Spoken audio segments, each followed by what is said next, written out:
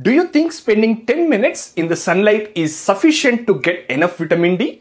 Then think again. Vitamin D, often called the sunshine vitamin, is exceptionally important for bone health, immune function, mood regulation, and even glucose metabolism. But here is the reality. Just stepping outside for a few minutes may not be enough. Factors like your skin tone, age, geographic location, time of day, and even air pollution significantly impact how much vitamin D your body produces.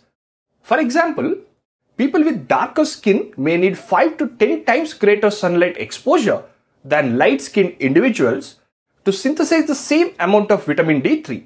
Some research indicates 3 to 6 times more exposure may be needed. In winter or in northern regions that are closer to poles, not enough UVB rays reach the Earth's surface to synthesize vitamin D. This makes it nearly impossible to get enough vitamin D from sunlight alone. Here is the shocking part.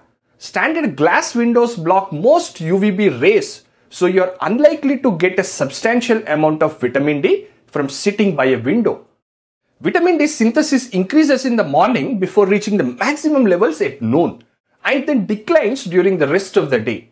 Aim to get outdoors between 10 am and 4 pm when sunlight is plenty. Anywhere between 15 to 25 minutes sunlight exposure to most parts of the body is adequate for getting vitamin D. When sunlight isn't enough, consider dietary sources like fatty fish, fortified dairy products, or vitamin D supplements. So don't rely on sunlight alone. Know your vitamin D levels and consult a professional if needed.